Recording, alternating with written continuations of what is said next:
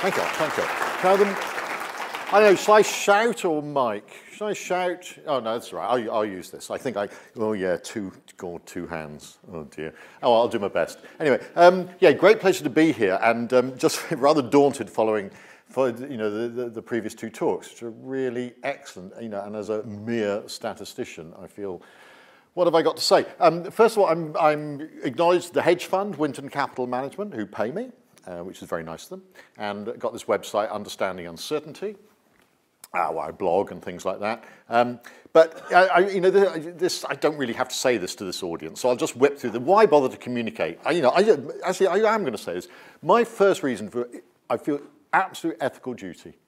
You know, I just feel that this is I, doing the duty. You just must do it. Must communicate well and contribute to, uh, as Victor was saying, the whole discussion around informed choice. I love love the picture of the two people sitting shoulder to shoulder, you know, engaging in a discussion. That's what I'm aiming for. I uh, influenced by the talk this morning about encouraging realistic expectations of what the benefits and harms of treatment might be educate health professionals. Um, I, don't, I, don't, make a distinction between um, patients, um, health professionals, media, and policymakers. All the stuff we work on is for all those audiences. I don't think, I think there's a much bigger division between people within those groups of different levels of numeracy, for example, than there is you know, actually between those groups.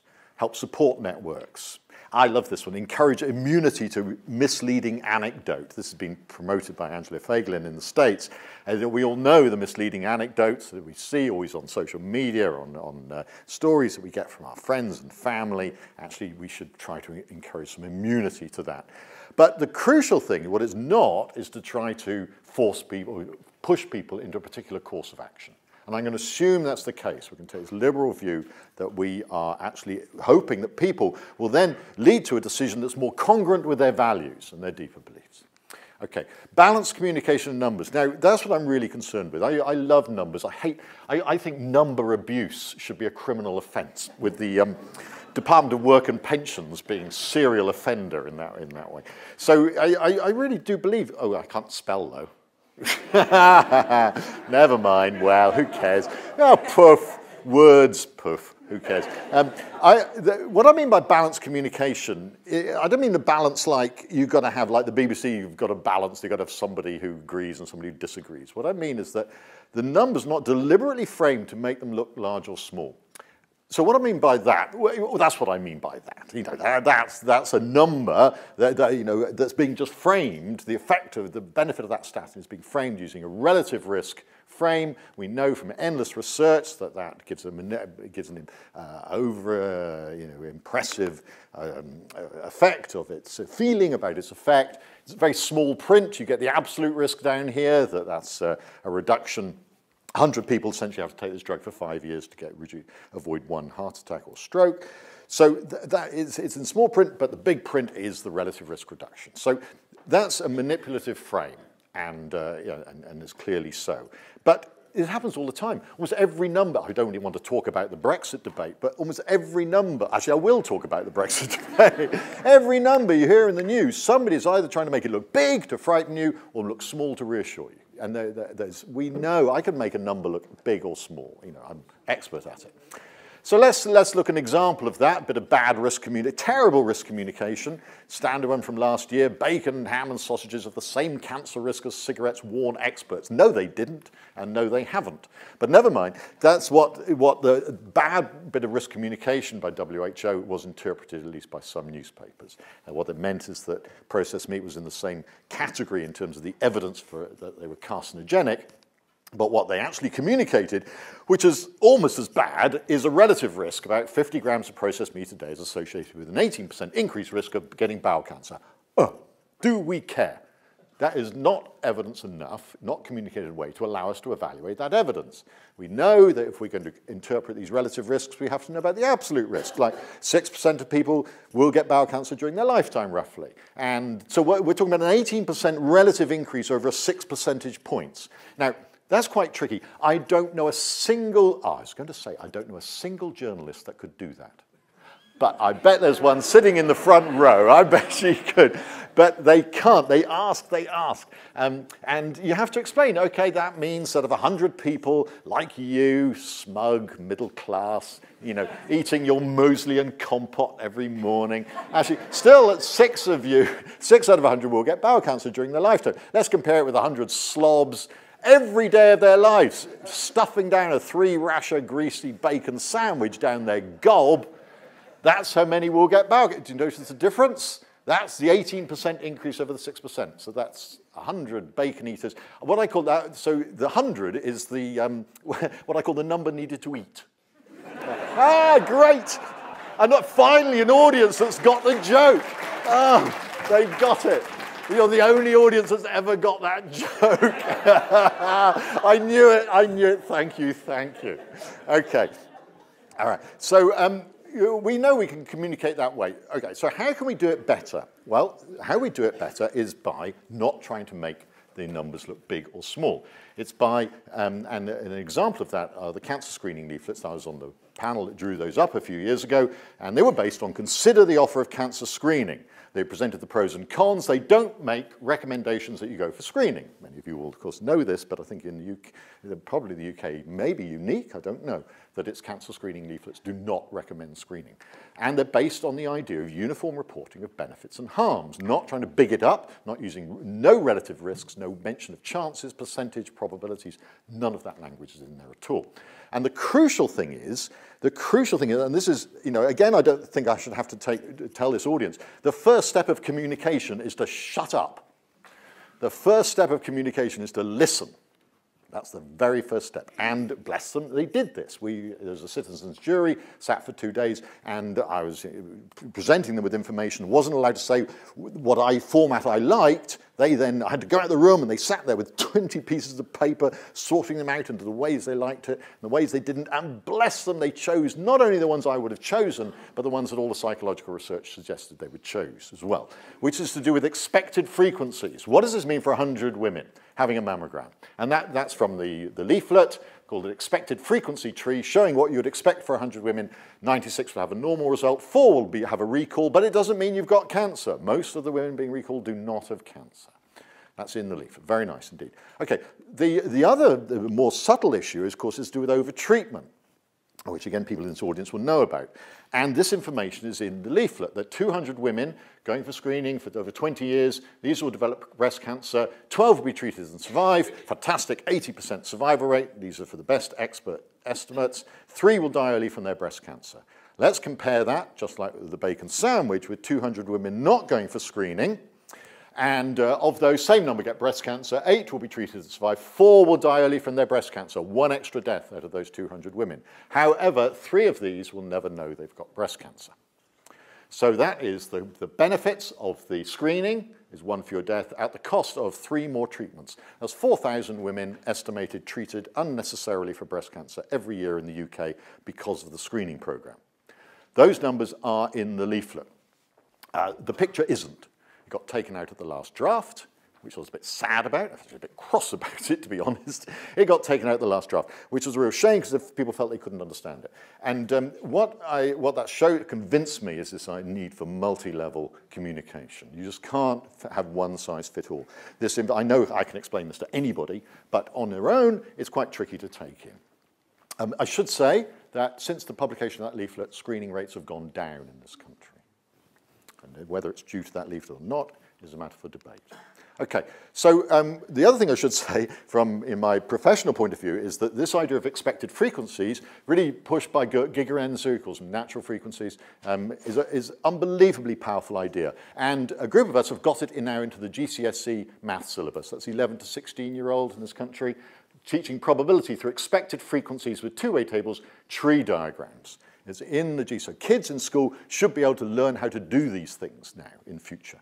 Um, to help them, we've actually had, to write a textbook called Teaching Probability, which is teaches probability through the medium of expected frequencies, and that's coming out in August from CUP. Okay, so uh, there's a whole process, I think, of education, trying to start at the youngest level. Uh, school kids should be able to take apart that bacon sandwich story. If, if journalists can't, the school kids should be able to. Um, okay, I did say in my abstract I was going to talk about alcohol guidelines. I'm going to do this briefly because this is an area which I, I feel quite strongly about, is that which have not lived up to the standards we might expect. Okay, the, the, I uh, won't bother to talk about the actual guidelines. Basically, in January in the UK, they said that 14 units a week, that's 8 grams of alcohol as a unit, um, was uh, a low risk level essentially an acceptable risk level. And um, when the, this guideline review panel, its, its publication, has got a wonderful thing. It says they, um, people have a right to accurate information and clear advice about alcohol and its health risks. Responsibility is provided citizens in open ways so they can make informed choices. I thought, yes, yes, informed choice, contribution to discussions, brilliant. That's fine as an ethos, but it, as soon as it gets in the whole, it gets in the hands of the Department of Health, what do they say? They say men should not drink more than 14 units of alcohol each week. A categorical statement. Abs I thought this was terrible. It infuriated me. That, uh, you know, the guidelines had been drawn up by a panel that was, that was you know, its duty was to provide info information for informed choice, ended up being portrayed as anything above this low risk level is unacceptable, essentially. So what they've done is taken a low risk level and suggesting that anything above it is, is high risk is an unacceptable risk, which is actually completely inappropriate in risk communication. Okay, so I've got my little, got my little um, effort over. Now, lots of people are interested in this balanced communication. I'm on a working party from the Academy of Medical Sciences. This little group here, communicating, communi Educating Evidence workshop was held recently brought together people who are really engaged with this. And so, for example, I'd mention Steve Woloshin and Lisa Schwartz, you'll know from Dartmouth, who've been working on the drug facts box for years, and I think you know have done a wonderful job, basically just reporting the benefits and the harms of treatments in a, in a natural, tabular way. One of the things in risk communication research has shown is that tables are really appreciated by many people. People like tables, especially you know, the, the, with you, know, you can't assume that oh everyone wants to see a picture or something like that, or even an icon array. People like tables. Tables should be considered as a as a as a graphical device, essentially as a visualization. A good table.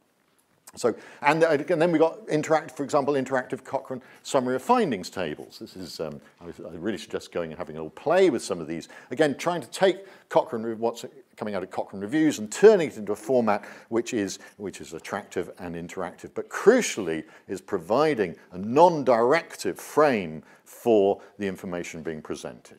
Okay, so transparency. What I'm talking about is I love open data. I love data. I love open data. It's great.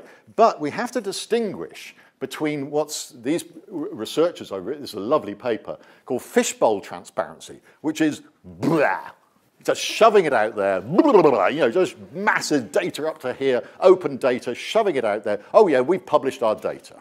Right, no you haven't. You really haven't. What they call reason transparency is proper communication. And one, as you'd expect, wonderful writing on this from Onora O'Neill, which says that transparency just says disclosure or dis dissemination. But this, if you're not careful, it makes you think you've done it instead of actually communicating to people. So what we're interested in, in and what I'm interested in now is, is going beyond transparency, going beyond availability.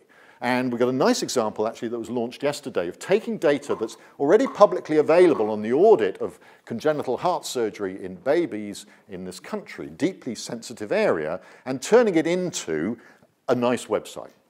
And this website has been developed by a group of people, um, so supervised from CORU at UCL, statisticians and web design from Cambridge, psychology, randomized trials of different presentation formats and words from King's College, sense about science, facilitating the public engagement, and most important of all, Children's Heart Federation, providing from the very start parents of children to be engaged in, in, the, um, in the development. Right from the day one, I've learned this now, just don't do anything until the audience, you've listened to the audiences and what they want. So this has been a long process, which I you could go on for hours about, the choice of language, the choice of graphics, because the aim was to, to, to communicate to parents really complex, subtle information, which is summarized in this form. Um, this is three years data of congenital heart disease. What this shows is for the different hospitals in the UK, how many operations they did, how many babies died, what their survival rate was, and that's the dot. The dot is the survival rate.